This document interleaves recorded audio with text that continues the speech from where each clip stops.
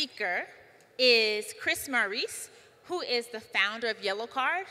And he's going to talk to us about how Yellow Card is changing the Bitcoin and stablecoin environment in Africa. Let's give Chris a warm round of applause. Sick. Hello, everybody. Uh, I am Chris, CEO of Yellow Card, and uh, you know, I think uh, my my friend here yelled out that uh, Africa is the future of Bitcoin, but I'm I like to live in the present. And so I want to talk about why Africa is actually the present of Bitcoin. Africa is the right now of Bitcoin as opposed to the future. Everybody talks about Bitcoin as this future technology, as this thing that's coming. But the reality is, is that it's happening right now and it's happening across the continent. And, and I want to talk about some of the stuff that, that crypto is actually being used for. And uh, you know, I, I think everybody that's here has already heard about the problem seven times. So I'm not gonna I'm not gonna belabor on the problem, right? But uh, you know, look, let's let's uh, let's be honest. The currencies across the continent don't work. There's a lot of inflation, and there's not a lot of trade within the African continent. African intra-African trade is the lowest of any continent in the world. It's four times smaller than Europe. It's six times smaller than Asia and you have the highest fees in the world for moving money around, right? If you're moving money into the continent, you're paying as much as 9%, and God forbid you need to move money around the continent. Uh, you might as well drive the cash. And so I, I want to I wanna talk about how stablecoins are actively solving those problems for businesses across the continent. And I also want to be realistic about what's actually happening on the continent, because again, I, I think you know it's it's easy with uh, a group like this to get very idealistic. And the, the reality is, is that people aren't using Bitcoin on the continent. People are using stablecoins. That's what's actually happening. I know this is the Africa Bitcoin conference, but again, I think we should be realistic about, about what's going on. Stablecoins are happening right now. Bitcoin not getting a, not getting a ton of love on the continent, uh, but USDC, USDT, and, and other stablecoins are. And eh, you know, I'm I'm a big believer that all roads lead to Bitcoin. I think that if you get people into this ecosystem and you get people into this space, then they will end up in something like Bitcoin. They will end up in a decentralized currency. They will end up in the the you know the right place at the end of the day. But right now, people don't want another volatile asset. They want stability. And that's the real problem that people are facing every day is instability, facing inflation, right? And so, uh, you know, this is something that I love to, to talk about is that as of, as of today, every business on the continent is either using stablecoins to power the cross border aspects of their business or they're lying about it. Those are the two options right now on the continent. And there are a lot of people that lie about it for a number of reasons, for regulatory reasons, because they don't want to you know, piss off a bank, they don't want to piss off a regulator. But everybody is using stablecoins or lying about it because there's just not another way to be able to move large amounts of money constantly across borders on the continent and eh, you know this is this is what it's led to right and so when when i say everybody i mean everybody banks fintechs, multinational businesses, if you're doing imports, exports, manufacturing, anything like that, you're using stablecoins or you're using somebody that uses stablecoins to be able to move that money. And uh, you know, again, I think uh, you know banks and, and financial institutions and uh, sort of the you know the legacy traditional finance sector likes to talk down on stablecoins, they like to talk down on Bitcoin, especially on the continent. But I can, I can tell you from personal experience that they are using it. Banks on the African continent are using stablecoins to be able to move money across borders. That's happening today, even though they tell you that they're not, even though they tell the regulators that they're not. And, and so I, I wanted to uh, slightly introduce uh, Yellow Card and, and what we do and, and how we help businesses and banks and financial institutions do this. Uh, so uh, for anybody that's not familiar with us, we're the largest and only licensed stablecoin on and off ramp on the continent. We're in 20 countries, all in Africa. Rest of the world is boring, so we like to keep it here. Uh, we do about $2 billion in transactions, and we serve over 20,000 businesses of all shapes and sizes. Uh, and we do that with payment rails across the continent. We do the hard work of actually integrating to banks, to mobile money providers, to cash on and off ramps across Africa. And we then give that to businesses. So if you are a business in any of these highlighted countries, then you, through Yellow Card, you're able to access banking rails, you're able to access mobile money rails to be able to move money in and out of the continent. Um, we do that through an API, right? So if you're a business, you tie into the API, it makes it super simple, move money in, move money out. It's great, highly recommended. Uh, and now we have a widget as well, right? So if you are a business that does not normally do KYC, you're not normally on the compliance side of the transaction, then we handle that entire flow for you. You go, you uh, integrate the widget. It, it, you know pops up in an iframe just like any other any other pop-up or, uh, or widget. And the customer is able to go through the entire experience on there. They're able to do KYC. They're able to load money off ramp, on ramp, whatever they need, and then just have your have your wallet loaded. We handle the entire experience. You enter the continent without actually having to do the work of entering the continent. You don't have to have a bank account in Africa. You don't have to have an entity in Africa. We take care of the licensing, the regulation, the banking, all of that. Uh, I had a demo, but uh, after watching the last two days of presentations, I, uh, I, I, believe in God, and I know that that's just not going to be possible. Um, and so I'll just talk about it. I'll just talk through it instead of, uh, instead of trying to play a video. Uh, like I said, with the, with the widget, right, you integrate this into any website, any browser, wallet, decentralized, centralized, doesn't matter. It pops up, it's one line of code, you're just redirecting people to a URL. It pops up, the customer is able to say, I want to buy a thousand USDC, I have Naira, I have cedi, I have shilling, I have whatever I have. You go through the KYC process, and then boom, it's in your wallet. It's, it's right there for you, for the user. You are in commission you get to enter the African continent without having to do the hard work of actually trying to set up here, right? The other thing that we do is we do commercial trading and we do treasury management. And again, this is why I said I can speak from experience that banks across Africa right now are using stablecoins to actually move money in and out of the continents because we're the ones that sell it to them. And so we work with banks, we work with financial institutions, any multinational company. If you need to move money from point A to point B on the continent, there's, there's again, only really one way to do that, and that's through stablecoins. So manufacturers, importers, fintechs, anything like that. We serve about 20,000 businesses, all shapes and sizes, anything you can imagine.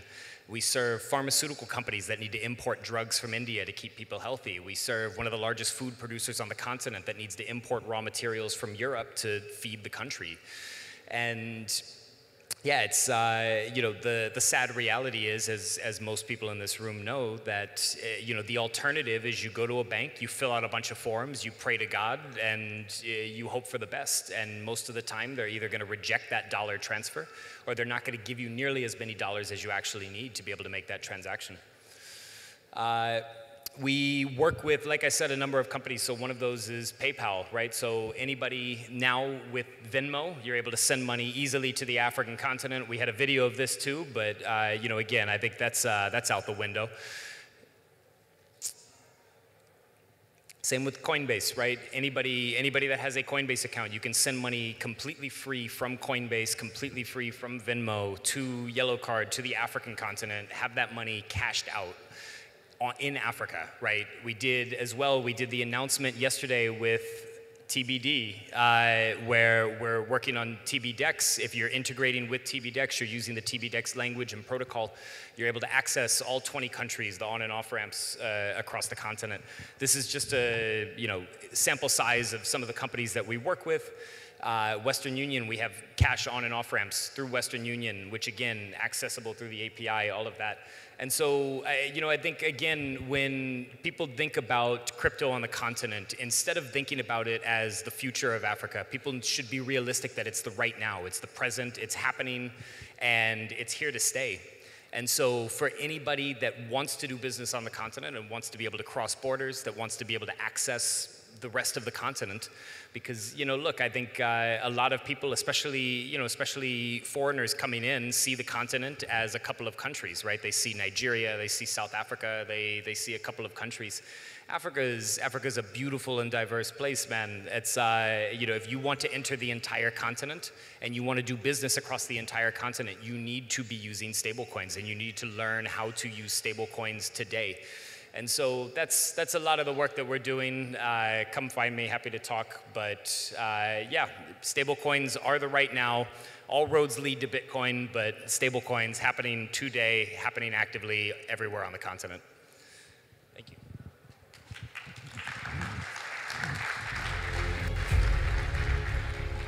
Thank you very much for your speech. Uh, my name is Nana Bartels. I'm from Ghana. And I wanted to ask you uh, with your uh, app, uh, Yellow Card, do you have a maximum uh, transfer that you can do or just any amount? Because I know there might be some restrictions in terms of how much you can send across in that time. Oh, my brother, you look like a big guy. Bring as much as you can and let's see, let's test the limits. It's, uh, no, I, I, you know, I think the, again, the beauty of this industry, the beauty, the beauty of stablecoin and, and Bitcoins is that you're only limited by what you're able to access from a liquidity standpoint, right? And so, I mean, we do, like I said, we serve banks, we serve multinationals, we also serve, you know, guys that sell shoes on the side of the road. So all shapes and sizes of businesses, all types of transaction sizes, I, you know, a couple million dollars all the way down to a couple thousand dollars. So my name is Michael Ansa, and I'm living in Accra. And my question is really um, concerning stable coins. Um, so there's a lot of misconceptions around stable coins, particularly concerning the companies that issue stable coins. And um, if, so like in the cryptocurrency space, like um, if like a company is said to have like um, less reserves than they actually report. Like you have um, incidents where stable coins depeg. So um, I'm just curious about like how you are like addressing this concern because like that's like one of the biggest concerns surrounding stable coins. Yeah. Yeah, so again, I think, uh, you know, look, all roads lead to Bitcoin here uh, because one Bitcoin is always one Bitcoin, so it can never depeg. Uh, and that is, that is a beautiful and, and powerful thing. I'm also realistic that most people don't like the volatility right now, right? And so I think, uh, you know, when it comes to stablecoin issuers, we're not trying to be, uh, how do you say, we're not trying to be the, the judge of moral character here, right? So I think it's up to people to make their own determination who the best stablecoin issuers are. We offer USDT, USDC, PYUSD, Celo Dollar, and, and a couple of others and we're constantly looking for more. And so we want to make sure that people have options and, and you know, we believe that people can make informed decisions on their own. My name is Carlos from Ghana. Uh, actually want to know, uh, have a personal questions to Yellow Card because I do put my money over there. And one thing, I want to know the strategic plans in five years coming. What is the strategic plans in terms of making payment? Because we live in a continent where I can transact with someone on the same network. But if I want to purchase a product to, let's say, Melcom, if I go to Melcom and I told them I use Bitcoin, they're not going to accept it, right? I have to go in and cash in uh, uh, cash. So what are the strategic approach you guys are using so that when we go to any product or any shopping mall, we they can accept Bitcoin? So that is the first question. The second question is, uh, I'm trying to build an app that uh, focus on payment sections what are the plans? How can my company partner with Flutterwave to, to integrate Bitcoin in our services? So these are the two questions. Sure. Yeah. On the second one, you can come talk to me. I'm happy to talk to you. Uh, I think in terms of in terms of crypto being accepted for payments, I think this is uh, this is an interesting one, right? I think for international payments, uh, it's it's the best way to be able to do that, right? There are on and off ramps that we provide or that others provide around the world where you'd be able to access that. In terms of local payments, frankly, I don't think it's a good use case. I think that it's really oversold and nobody actually wants it, right? Why would I want to pay with Bitcoin if I'm buying a latte down the street in Accra when I have mobile money? right? It's much easier. I would rather enable people to be able to access Momo, to be able to access cash on the streets, right, than, than be able to pay in Bitcoin when Bitcoin is what they should be saving, right? They should be spending cedi saving Bitcoin right? So I, I, I, am not, I'm not a huge fan of the, the local payment use case, but I think the international payment use case is very powerful.